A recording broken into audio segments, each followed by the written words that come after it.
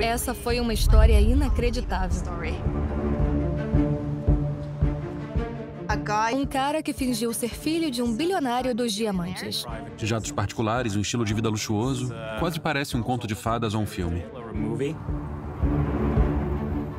A primeira coisa que você se pergunta como jornalista é que tipo de documentação você pode compartilhar conosco. Pois sem documentação nós não podemos publicar.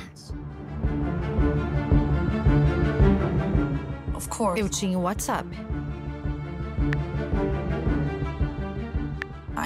Mas imaginei milhares de estranhos lendo os meus pensamentos íntimos, meus medos, meu amor por esse cara. Isso é muito pessoal, é tipo uma selfie na cama.